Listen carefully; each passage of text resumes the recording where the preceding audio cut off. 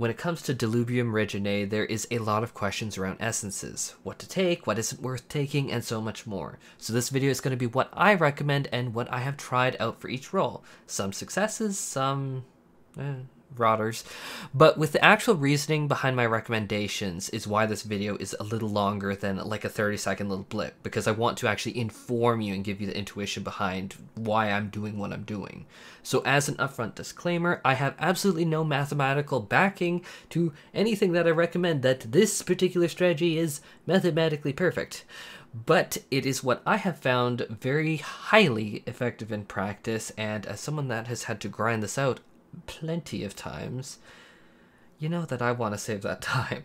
So timestamps are going to be in the description if you want to just zip to a particular zone. So first up, I want to cover essences that you should try and have in every single run that without these particular things in the party in general can waste a lot of time. So first up, there should always be 2 melee DPS using Lost Rend Armor. This is a 10% damage up debuff that can be maintained at all times of the fight with 30 seconds duration and a 60 seconds cooldown.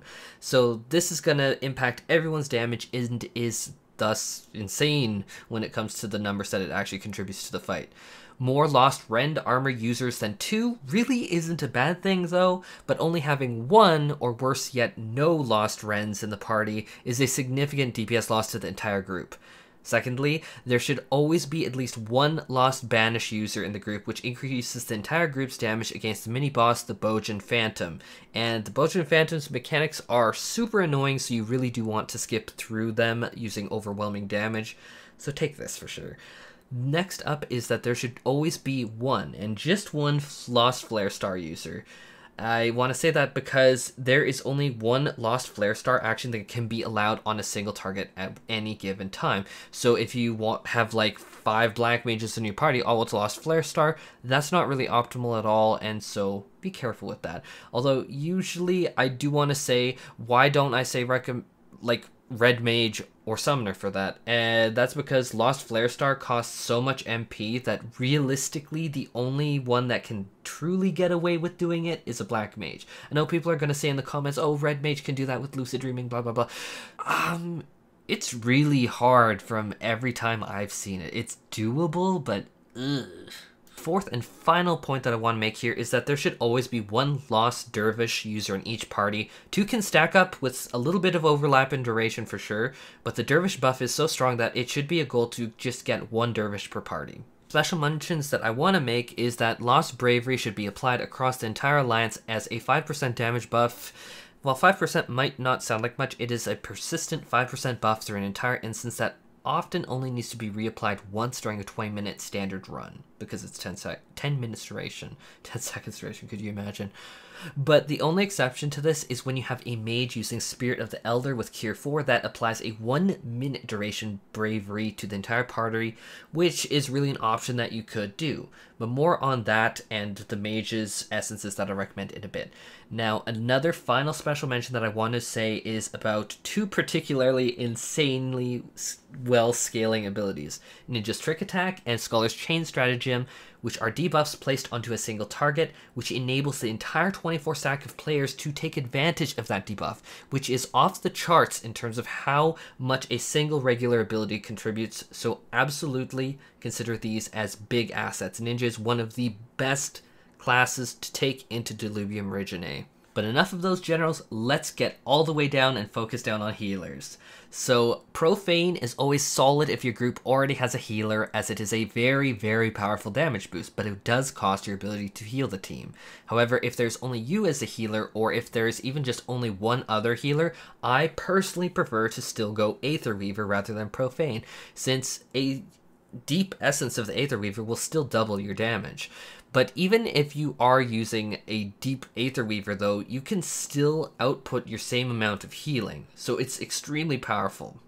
The next recommendation actually has shifted me away from even Scholar and to White Mage whenever I am running Delubrum Reginae right now. And that's even taking into fact that I said that Chain Stratagem scales really well just a few seconds ago. I and for the record, I can't even really consider Astrologian after messing about with these two other healers. Scholar has Chain Stratagem with scales too well, and White Mage has what I'm about to explain now. White Mage has the ability Thin Air, which makes abilities cost absolutely no MP for a short period of time. This pairs extremely well with Seraph Strike, which is a tremendous damage boost, but costs an insane 5000 MP to cast it. While it is possible to make this work on Scholar, I personally found it extremely difficult to justify using it, or I could maybe fit two, but getting three into like a dragged out fight was extremely hard on Scholar. White Mage, on the other hand, doesn't really feel that same level of pressure at all, and this damage boost is truly insane. Now, my next recommendation for the second action is Chain Spell. This works well on Scholar and Ast as well, but when used on White Mage and paired with Thin Air again, it makes your casts instant, and so it allows full mobility as well as the damage amp, but the problem with it on Scholar and Astrologian is it makes spells cost much more, and so Thin Air and White Mage's near infinite well of MP can swallow this cost which is going to take me into my last tidbit of information in this section, which is White Mage's cast time reduction called Presence of Mind. This ability also lowers the global cooldown, even if you're instant casting. So combining Thin Air with Seraph Strike with Chain Spell and Presence of Mind makes White Mage's damage absolutely bizarre, and it's really trivial to out DPS the entire raid in many instances. In fact, I have ripped aggro off of with this and died, which has been actually a short, a meme short that I put on this channel. So this brings me to my actual recommendation. Aether Weaver or Profane Essences with the actions Chain Spell and Seraph Strike on White Mage. So now let's talk range DPS. Pure Essence of the Fiend Hunter is bar none the best essence that you can take, but you can also get away with using Skirmisher essences. In terms of actions, the most powerful thing that you can do as a ranged DPS is to bring Lost Dervish, and this is an excessively powerful team-wide buff. It, do not underestimate how powerful this is. It is, however, not alliance-wide, and so in each 8-person team, you will need to bring one of this. And it is possible to have two ranged DPS coordinate their dervish buffs to keep constant uptime for the entire party, which is definitely still very valuable and very powerful. But in reality, even just one DPS can keep the buff up roughly two thirds of the time and is more than enough. It is very, very powerful. Now, the second action that I recommend is Lost Font of Power. This is a powerful damage amplifier that lasts a hearty 30 seconds duration. So my recommendation is Fiend Hunter or Skirmisher essences with the Lost actions Lost Dervish and Lost Font of Power. Now let's talk melee DPS, which might be a little controversial because I have found in parties that Lost Rend is usually the one buff missing from the group. And sometimes people do say that they will rend, but don't. So keep this in mind here. And I just want to say that from the get-go because this has been my experience. Hopefully this will change in the future, but this is what I've been experiencing the past little while.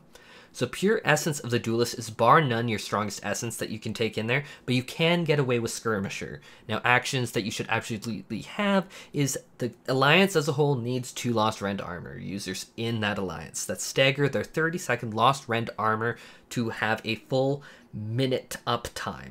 And so one goes the first 30 seconds. As soon as that ends, the second user uses their Lost Rend armor. This should have a constant uptime between the two. This is very, very important as 10% damage across the entire party scales insanely huge. Now, the second lost action that I take with this is Lost Banner of Honored Sacrifice, which pairs up with Pure Essence of the Duelist to not drain health, which is huge, and to also last 30 seconds. This combo of the Duelist Essence with the Banner of Honored Sacrifice makes melee DPS easily top the DPS charts, even above busted white mages using Profane. Now, if you have Skirmisher, though, I would not recommend using this banner. I would not, since the HP drain is very significant, leading me to not, uh, or rather, leading me to recommend Lost Font of Power, which is a powerful damage amp that won't have you die without extremely attentive healers. So then we come from this to a logical final problem is what if you do have two lost rends in the alliance already, and you aren't paranoid like me about someone missing a lost rend, and what do you do? That leads me to Banner of Honored Sacrifice combined with Lost Font of Power. Which is going to be a stupid amount of damage, and that you can tack that onto a powerful damage over time effect like Samurai's Higanbana that lasts a 60 seconds duration for hilariously busted results. It is so powerful.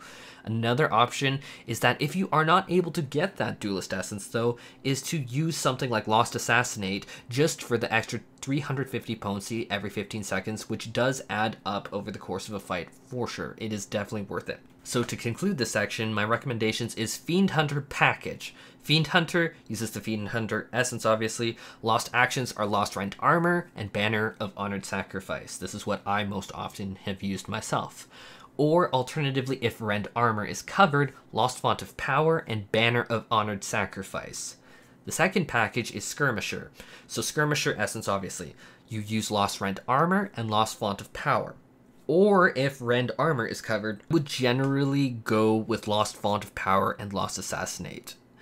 I know that that was a mess of recommendations, but those conditionals really do change it up. Now let's talk magic DPS recommendations. So if you are the only black mage in the alliance, you're probably going to be the one using Lost Flare Star due to that bizarre MP cost. It's literally 9,000 MP. But my recommendation for essences is Spirit of the Elder, if you can possibly do it, but Lost Skirmisher is a decent alternative. Or you can also use Watcher Essences. I know this might be controversial because people will be like, that's not mathematically optimal, but I'm going to explain that one in a sec. So, Spirit of the Elder goes extremely well with Cure 4 to buff the entire party with Bravery. If you don't already have someone manually casting Bravery, it is a very solid, easy to maintain buff on your party. Regardless, it's a 50% damage increase, so it is very much worth taking. Lost Font of Magic is another action worth taking, but causes a very, very significant MP drain. I cannot warn you enough. I it personally overwhelmed me. It is an insane 70% damage boost, but I found managing the Black Mage rotation with this MP drain very overwhelming to me personally. But if you can manage it, 70% boost, I recommend it, obviously. Another option to take is Lost Chain Spell, which is a solid damage amp and makes your cast instant with the drawback of slightly more MP cost. I found this, however, in my practice, much easier to manage than Lost Font of Magic personally. Aside from that, there is a build that people would call a meme build, but it is the Watcher Essence combined with Chain Spell, which makes you have instant cast spells that also have that Chain Spell damage amp at all times with, like, just refreshing the buff every 90 seconds.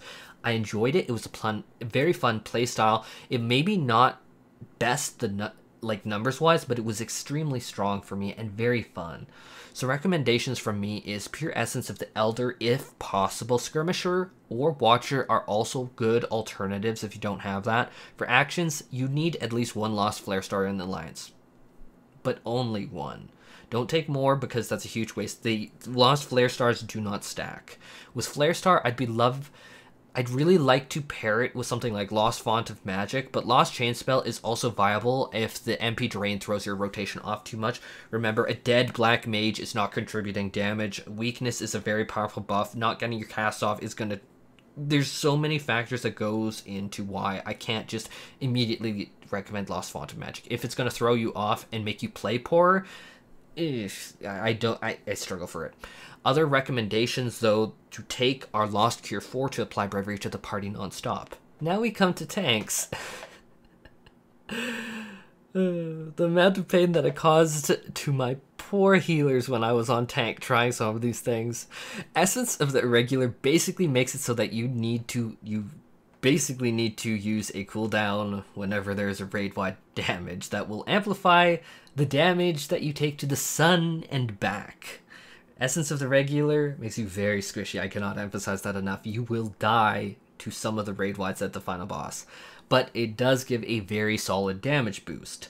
I liked to pair this personally with Lost Font of Power, and oddly enough, people will look at me strange, Banner of Noble Ends. I don't know if this is numerically the best, but it is what I found the best when I went to do this. There were other options like Banner of Tireless Conviction, but the fact is that wasn't that effective because you were rarely taking that much damage, and especially with Irregular, you will be penalized very heavily if you take damage. Unless you are main tanking though, I don't see this being great. One option with Irregular though is to also take Lost Reflect, and then you can reflect things like Trinity Avowed has the Tank Buster. Reflect that with a regular damage bonus, bam, she's just gonna wreck herself. And that is definitely another action that I can recommend.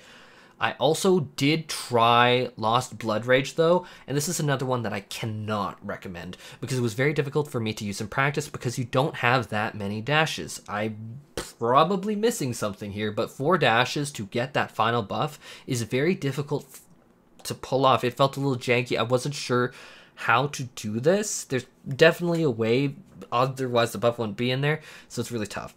So my recommendation for tanks is Essence of the Irregular if you're comfortable dodging the mechanics and using cooldowns for every raid wide. Definitely do that. Or another option is Martialist Essence, which is less damage, but you're not going to have that high risk. Combined with the Lost Actions, Lost Font of Power, and Banner of Noble Ends. Honestly, though, even in testing, though, I need to be quite frank with you, this is significantly weaker than White Mage with the recommended essences and actions, or Samurai, or especially Ninja with recommended actions and essences. And Ninja, remember, they bring Trick Attack, which scales with the 24 people whacking the boss. Very strong, very strong damage contributor. So I do find it hard to recommend tank unless you are main tanking. Where my recommendations, if you were main tanking, would be the Bloodsucker Essence, which adds damage, gives you HP regen, as well as the actions of Banner of Tireless Conviction, because now, since you're main tanking, you're taking a lot of damage, and Lost Font of Power. So before I close off this video, I need to definitely take note of this because people will definitely say that I missed this. Is one combo for tanks, melee DPS, and range physical DPS that I am hesitant to recommend because Beast Essences I found very hard to get. I found it just not as effective is using Essence of the Beast combined with Lost Assassinate and something like Lost Font of Power, which will be a tremendous self-sustain boost combined with a bonus damage and crit hit rate while using that Beast Essence. It is solid, it is definitely viable, it is absolutely beyond any shadow of a doubt better than nothing, but I would stick with the other recommendations in my practice personally. Anyhow, that brings us to the conclusion. There are all of my personal recommendations of what I've had the pleasure of trying out in Delubrum Reginae and the bane of my healers. And yes, that Black Mage Chain Spell combo is sweet and has fun.